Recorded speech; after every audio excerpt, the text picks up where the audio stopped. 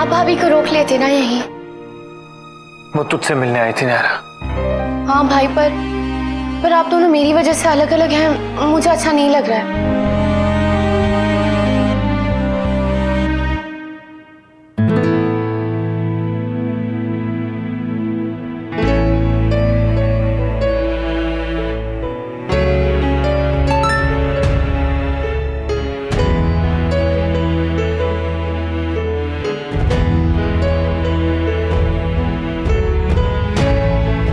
अरे चीज़ तो खत्म हो गया। भाई आप दो मिनट रुकिए मैं दो मिनट में चीज़ लेके आती हूँ नीचे किट्टू के घर से। किट्टू?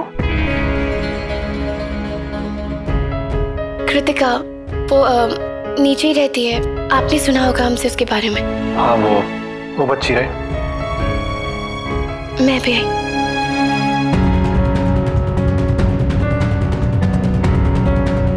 कार्तिक प्लीज़ देखना क्या हो गया मेरे फ़ोन को। कहीं जा रहा था? हाँ वो चार्जर कार में रह गया तो। अरे तो मेरा चार्जर ले ले। नहीं नहीं तुझे भी तो ज़रूरत पड़ेगी। मैं मेरा ले आता हूँ।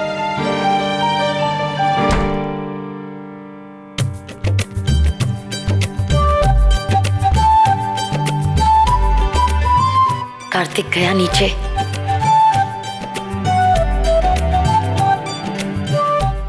नायरा भी।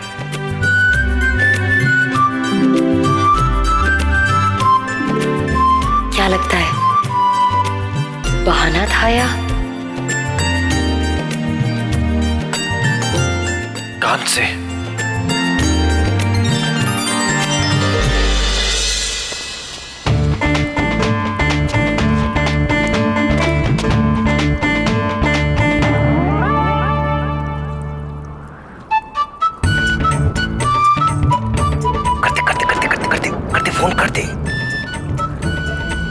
करते तेरे के नालायक कहीं का।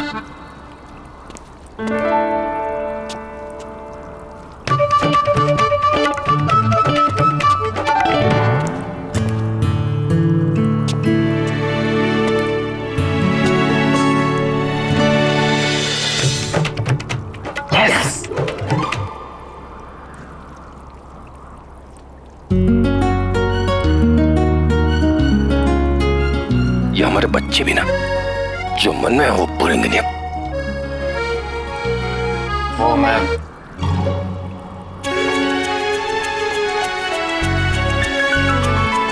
तुम कहो। नहीं नहीं तुम बोलो। इट्स ओके okay, तुम बोलो। नायरा बता दो क्या बोलने वाली थी? बोल दो। भाई भाभी की एनिवर्सरी है कल। हाँ पता है। पता है तो फिर ये भी पता होगा कि वो हमारी वजह से दूर है। हाँ वो भी पता है। मैं भी उसी बारे में बात करने वाला था।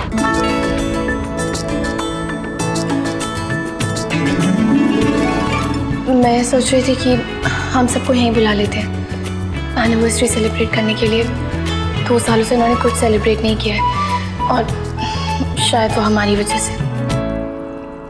उनकी एनिवर्सरी के बारे में कुछ करें क्या? करना तो बहुत कुछ है पर पर कोई प्रॉब्लम है? किसी से बात करना चाहते हो? पूछना चाहते हो? डिस्कस करना है? हाँ बेटर होगा। घर वालों से बात कर लेते हैं उनसे डिस्कस कर लेते हैं फिर कुछ भी डिसाइड कर लेंगे। पर ये मेरा इशू है तुम करो तुम्हें जो करना है। मैं अकेले तुम कुछ नहीं करना चाहते अपनी बहन के लिए?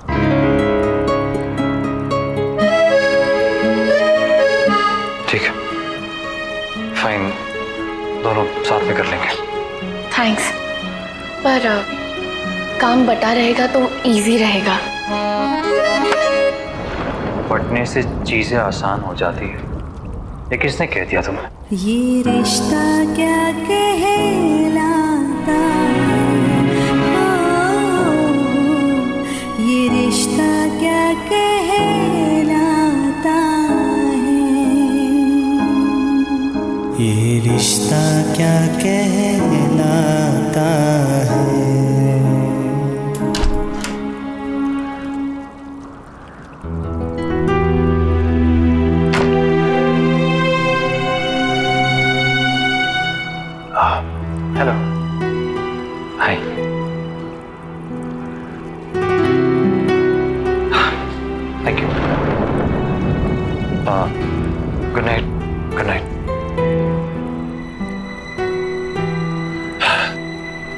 इतने दिनों बाद कार्तिक को देखा अच्छा लगा। पर समझ में नहीं आया कि क्या बात करूँ। डोंट वरी शायद वो भी यही सोच रहा था। आई जस्ट होप कि कीर्ति सब जल्दी से ठीक हो जाए। हमारी एनिवर्सरी सेलिब्रेट करने के लिए दोनों ने साथ में आना मंजूर किया है। भगवान करे अब दोनों अपनी शादी भी ऐसे ही बचा लें।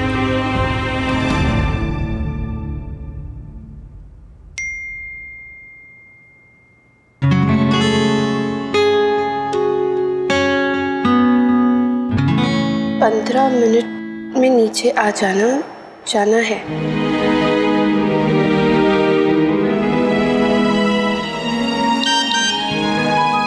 के? सीरियसली के? ये जवाब दिया मेरे मैसेज का। वाह, एहसान कर दिया, मुझे मेरे काम के लिए जा रहे हैं ना हम तो। मैडम, बड़ी बिज़ी हो गई है। इतना भी टाइम नहीं है कि पूरा ओके लिख सके। भाई भाभी के लिए तुम्हारे साथ चल रही हूँ कार्तिक। पर ना जैसे तुम हो गए हो। मैं तो दूर ही रहूँ तुमसे। रियली के?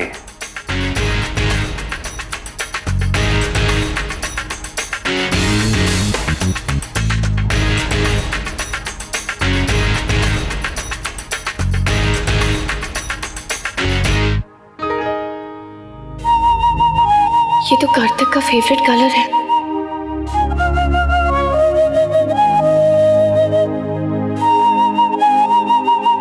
ये तो नायरा का फेवरेट कलर है।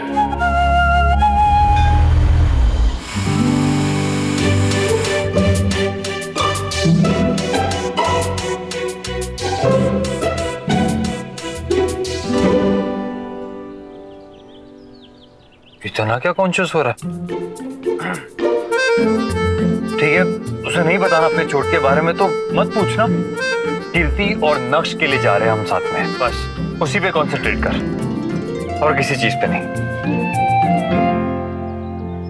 पर अगर मेरे सामने वो लंगड़ा कर चलेगी या उसके पैर में दर्द होगा तो फिर मैं कैसे नहीं पूछूँ? पूछना तो पड़ेगा ही ना। क्यों? ज़रूरी है क्या? नहीं पूछना। जब इतनी बार पूछ लिया और उसे बताना ही नहीं है तो पूछ के फ़ायदा क्या? पर पता तो होना ही चाहिए ना कि उसने इतना ड्रिंक करना क्यों शुरू कर दिया? बता देना कहाँ जाना है। शहर तुम्हारा प्लान तुम्हारा। मैंने लिस्ट बनाई है सो पहले वेन्यू डिसाइड कर लें। अगर मैं ये बात कहता तो उस पर भी झगड़ा कर लेते। एनीवेज बारिश का टाइम है कोई इंडोर लोकेशन ही देखना चाहिए। हाँ मैं भी वही सोच रही थी। तो बताओ खाने के बारे में क्या सोचा तुमने? भाई और भाभी का फेवरेट कुजीन हाँ तो जगह भी उसी के हिसाब से फाइनल करना होगा ना। कोई अच्छा सा शेफ भी देख लेता है जो उनकी फेवरेट चीज़ों का एक्सपर्ट हो। पर शेफ और वेन्यू अलग अलग तो नहीं कर सकते ना? कहीं तो कॉम्प्रोमाइज करना ही पड़ेगा। नहीं मैं कोई कॉम्प्रोमाइज नहीं करने वाला। I want best of everything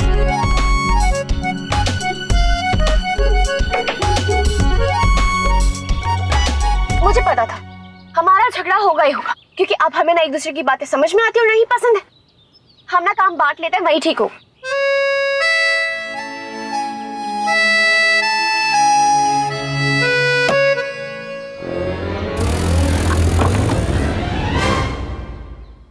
seat belt लगा लो। तुम्हारी ऊ आ की वजह से मैं अपनी स्पीड कम नहीं करने वाला।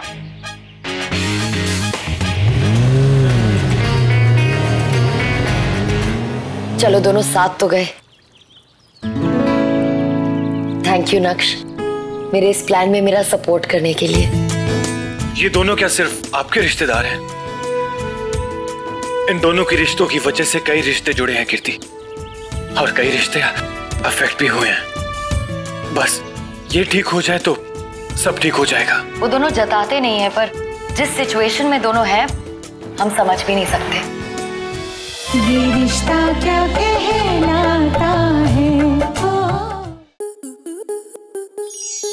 आपके मनोरंजन पर अब नहीं लगेगा कोई ब्रेक स्टार प्लस के बेहतरीन शोज़ देखने के लिए लाइक शेयर और सब्सक्राइब करें स्टार प्लस यूट्यूब पेज को।